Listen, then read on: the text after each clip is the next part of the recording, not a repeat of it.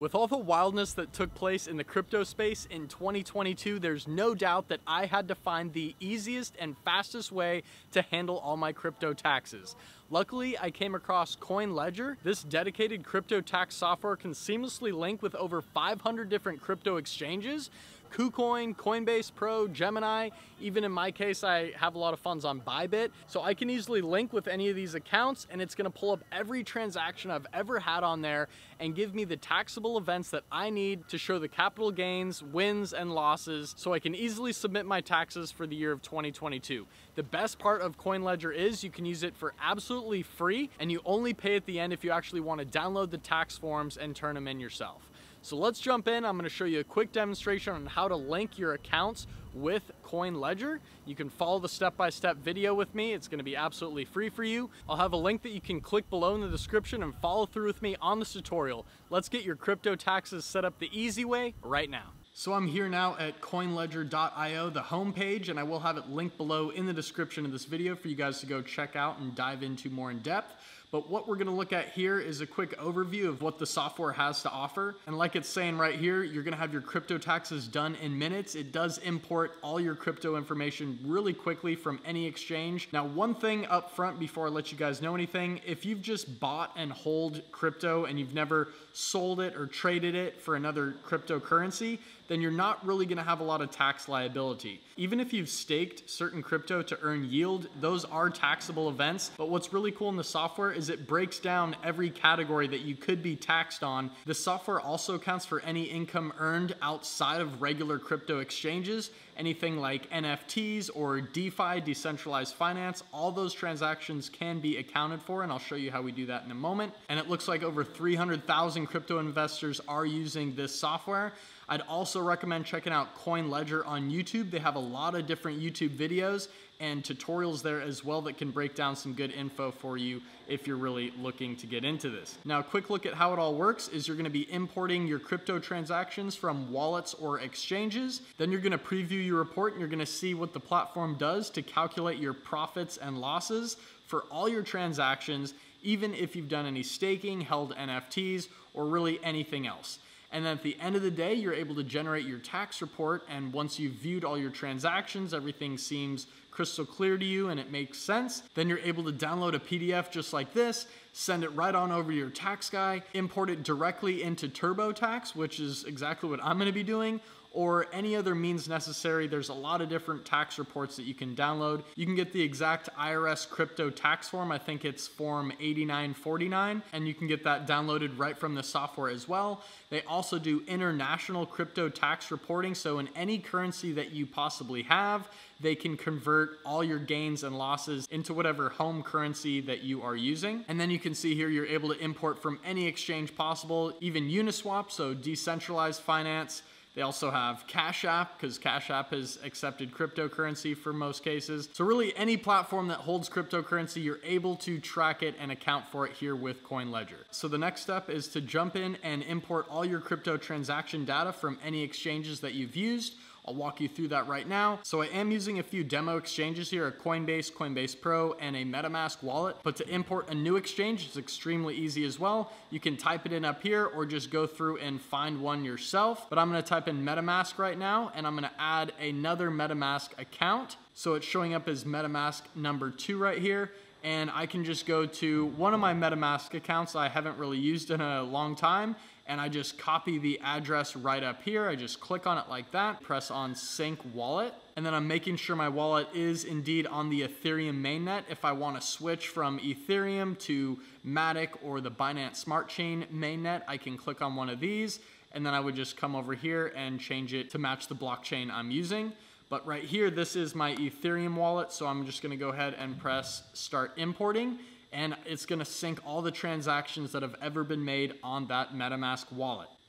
And in live time, it took about 10 seconds here. I haven't done a lot of transactions there. There were only 26, but it says looks good and it has already imported all that information for me right here. Next, we'll go ahead and upload a Coinbase account. I think that's the most popular gateway exchange anyone getting into crypto has ever used.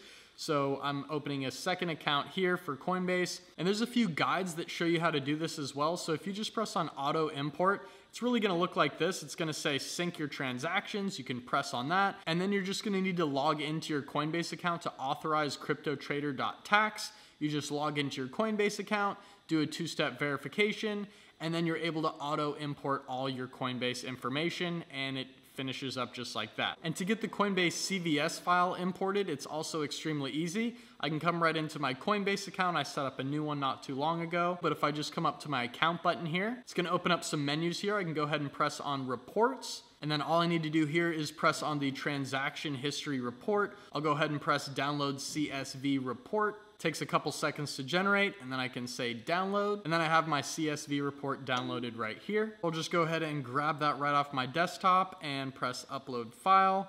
Can drop it right in there like that and it's going to import all those transactions just like that. So I'm gonna go ahead and add one more popular account. A lot of people that watch my channel specifically have probably got into making a KuCoin account.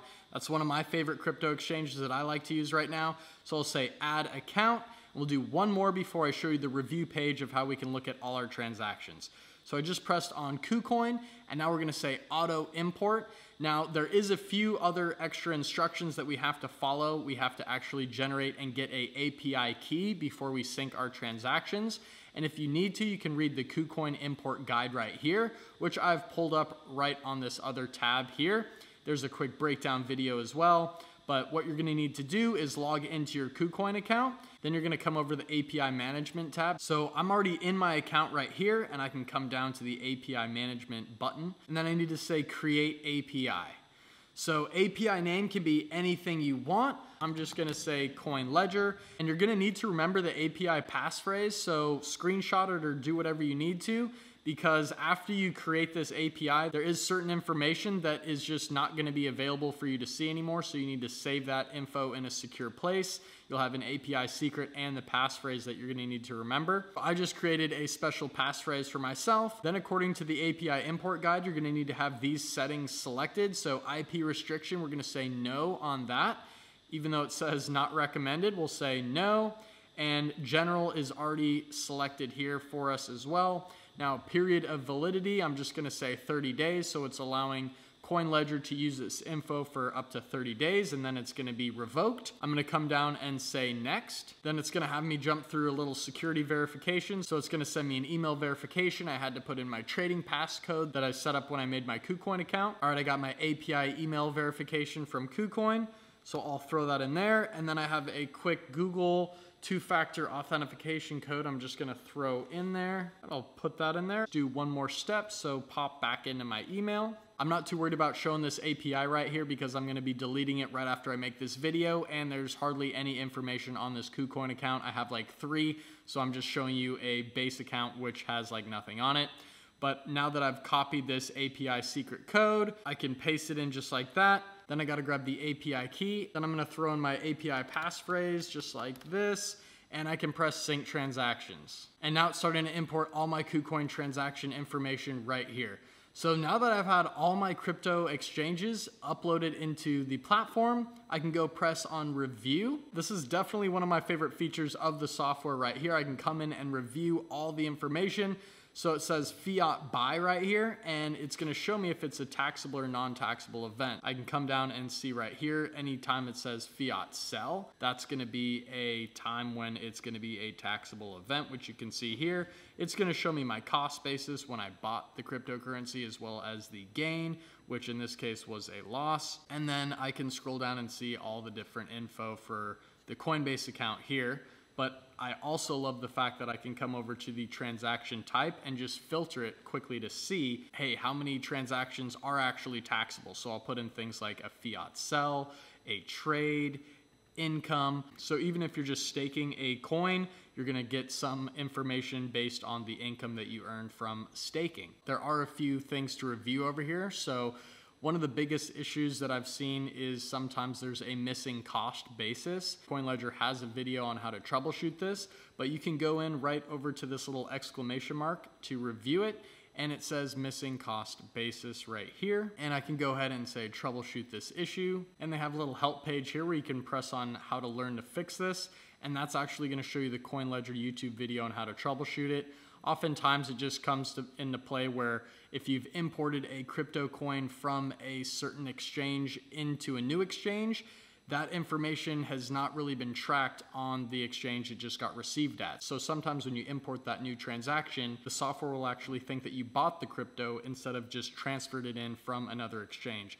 So that's a quick way to troubleshoot that. You can also just come and press ignore. And if you press ignore on that, it will get rid of the error code for you but it's going to go into the IRS and tax information as if there was a zero cost basis, and it may add or subtract certain amounts to your overall capital gains or losses with your tax accounting. I can see any incoming gifts, my deposits, any fees. After you've reviewed all your crypto transactions, and everything makes sense to you, you can come right into your tax report. And this is for the year of 2023, so not all this information has been accounted for yet and I'm really just trying to do my information for the year of 2022. Now, I did just have some demo accounts here, so there wasn't a whole lot of information to keep track of. And you can see the summary right down here. So we had the short-term capital gains and losses. Those were trades made within one year. Also the end of year position, if you click on that, it's gonna show you all the different crypto positions that you're still holding on to and when you acquired them. Even back to 2019 in some cases, we had one Bitcoin bought here at 2 a.m. on February 22nd, and we're still holding on to that right now. And it shows me the remaining cost basis of what it's worth right now today. So that's really cool. And then you can see all your taxable income right here. It shows airdrops, interest. We didn't have any extra income earned from mining or staking. And all I need to do here is now create my final tax form. I can come and actually add a tax professional. So I'm gonna put my name, my tax professional name, and then their email address. So I can shoot them an invite right on into this final summary so my tax professional can take a look at all the information here. And what I'm gonna do is actually come down and say tax filing software. And because I'm using TurboTax, I'm able to come in and say TurboTax Online. I can generate the CSV report, download it just like that, and then there is a learn more button, so it's gonna show me exactly how to import all my crypto earnings and losses into TurboTax. So there's a really thorough tutorial where you can just go ahead and follow through this. It's gonna show you which plan you need to get with TurboTax to actually import your crypto data. If you just get the free edition, I don't think you can account for your crypto earnings. Also, if I just wanna turn in the regular form to the IRS, I can download it right here. I'm gonna come down to IRS form 8949 and press on generate. Then I'll press download and then it's a simple PDF copy of all the transactions made within the year that are going to be taxable. I can download that and if I need, I just staple it right onto all my taxes that I'm turning in at the end of the year.